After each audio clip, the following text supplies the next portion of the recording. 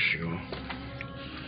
Evde yalnız kalır kalmaz koltuk altı, başüstü sırt falan kaşınmalar başladı.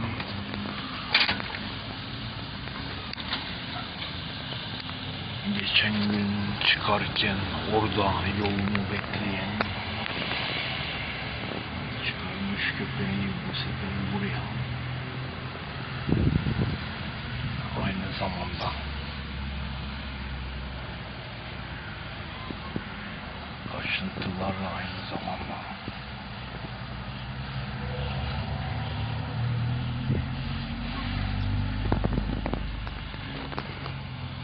Hepsinin oturduğu aynı yere.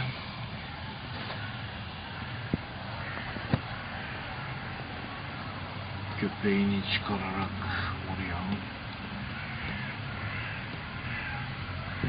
belediye başkanının konuşmasını bilerek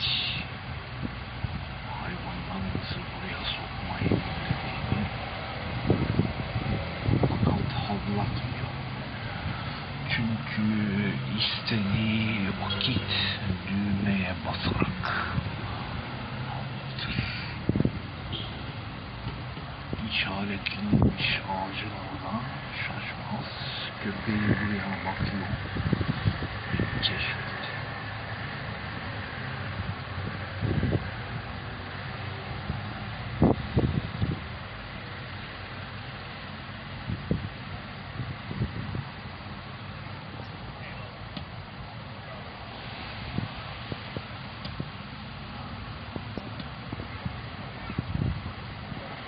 Böyle bilerek gönderiyorlar bu şeyleri.